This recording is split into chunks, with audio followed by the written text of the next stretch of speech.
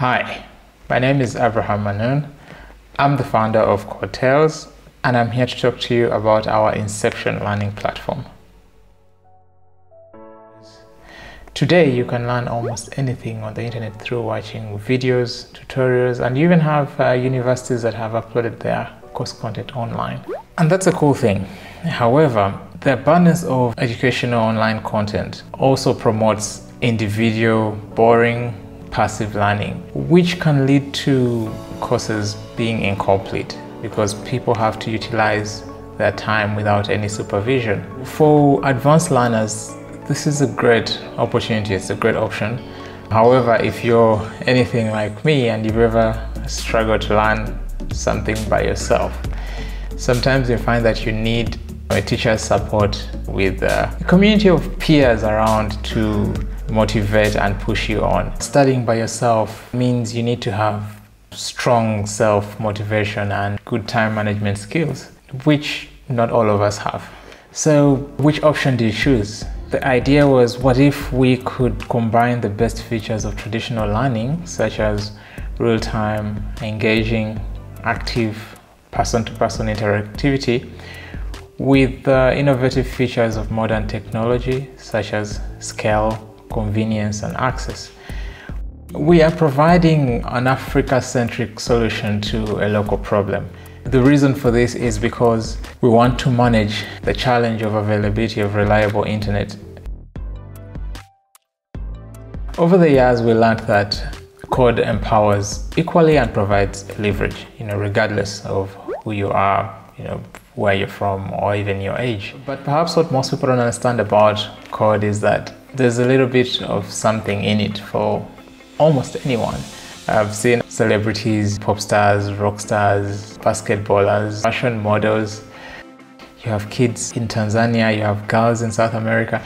It's really appealing. And at one point I saw President Obama trying it out. What is the most efficient way to sort a million 32-bit integers?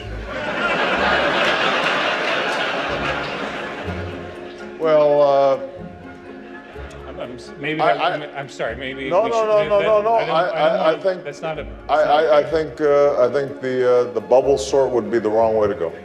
Uh, come on, who told him this? Todos lo pueden hacer. Girls should learn this too. Understanding coding is a weapon.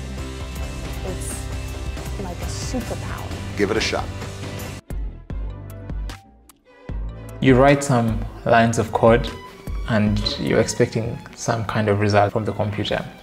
And then you wait and you know you did everything right. This thrill of expectation and being on the edge really gets you. I see this a lot with uh, football when people are watching soccer. Every time they come towards the opponent's goal, you're thinking, are they going to score or not? Are they going to score? And then maybe they score, maybe they don't, and it goes back and forth. And when it works out, in your head is like fireworks, cars honking, people cheering, applause, and all that. It's boom like you've made it. That's your eureka moment. And finally, when you see the results, it gives this feeling of I did that. I gave the computer some instructions and it followed them step by step. I programmed the computer. And it's a feeling of accomplishment but then you look around and then you realize there's no one there. It's just you. It's 2 or 3 a.m. in the morning. And just like that, I discovered my happy place. And that's how I got hooked. That's why I still do it today. When we were getting in, we thought, yeah, this will be just for fun. However, once you start realizing, you know, all the possible things that you can do, the next question is, can I also create a website or an app for someone out there that they could use and it could help them in their business or in whatever they're doing? You can have an idea, but it's just that it's an idea, however great it is. What makes it work is if you can turn it into some real, tangible thing that can make things happen. And that is where code comes in. We all want to create something with our own hands, and in this case, maybe with our minds. We never set out to be experts in anything really. You know, we were just simply amazed at what code could do and we were held in wonder. When you are that curious, the next thing is you start asking questions like, what if I could do that?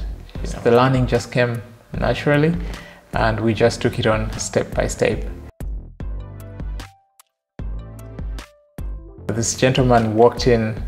He was waiting for a meeting with the headmaster, so he came to the lab where I was and he noticed I was surfing the internet. That's what we used to call it back then. We had this slow dial up connection using modems at the time. He asked to borrow the computer, which I obliged. He sat next to me so I could see what he was doing.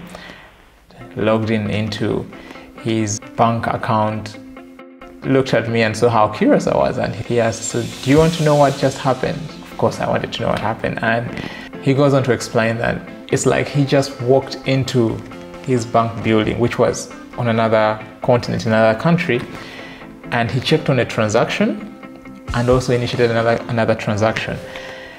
That, of course, blew my mind because of where we were at the time. We were in the middle of nowhere in a village in Mukono. I sat there thinking, wow, how is that possible? I thought about the internet, there was no wires connecting to the other side of the world. And then he goes on to say, the reason why this is possible is because of some code that was written in the browser by people called programmers.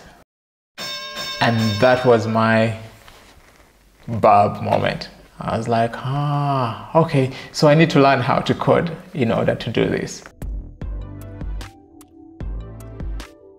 The journey since has been what you'd expect ups and downs, dips and curves, twists and turns, but mostly fun. I've built great websites, and in a way, I discovered myself. It's really because of code. I never thought I could ever push myself to come and speak in front of people on a camera when I decided to learn this, say, okay, how do you speak in front of camera? Because I wanted to share what I know about code. And I joined uh, the Toastmasters. It's a group that helps people learn how to be public speakers and make presentations. And my very first speech, I invited my wife, I invited my friends, I invited people who have supported me over the years and have been close to what I'm doing right now. I think maybe one minute or so into the speech, I froze because I lost all, I forgot all the words. I was told that maybe it was 15 seconds or more of just looking at the audience and the audience was looking at me. I didn't know what to do, but end of the story was I composed myself. I finished the speech and it was it was awkward. Yeah, it was awkward. But Today, I'm here speaking to you about the same thing. Most of this attitude of not giving up, going again, the attitude of creating and recreating yourself and acknowledging that you're always better than your last mistake or failure. I got it through coding. For example, you've heard of something we call updates, or you've heard of uh, something we call patches when we're writing code. So it means that when we fail, we don't actually fail. We just think, okay, we'll write a patch for it or we'll write an update for it. And that's what happens. So you hear about viruses and antiviruses. Yeah. Of course, now I have uh, different motivations for sharing this. I have a little girl who really looks up to me like I'm their hero. Like anything else in life, we, we are always learning. And so that got me thinking what if I have a skill now that I can live for her? I can give her something that would put her in a better place 10 years or five years from now than I was because I already learned how to go around the hoops and the loops, the gatekeepers that I had to go through. Maybe it was harder for me given my environment and my situation, but for her and her generation, it could be easier if they had a, a mentor or someone to guide them into learning the skill.